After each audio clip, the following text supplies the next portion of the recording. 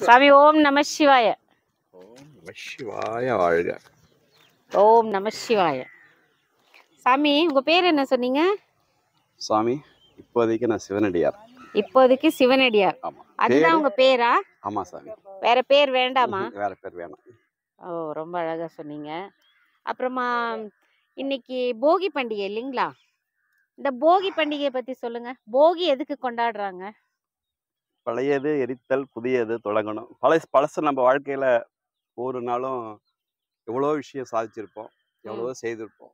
எல்லாமே இன்னையோட ம், அதெல்லாம் கழிச்சிட்டு புதிய வாழ்க்கை தமிழர் திருநாள் இது.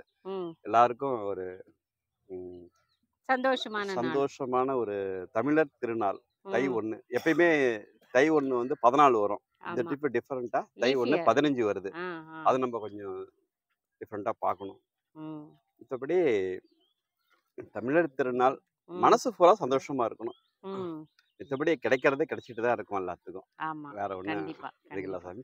பழையது எரித்தல் புதியது தொடங்குதல். அவ்வளவுதான் சாமி. ஓம் நம சிவாய.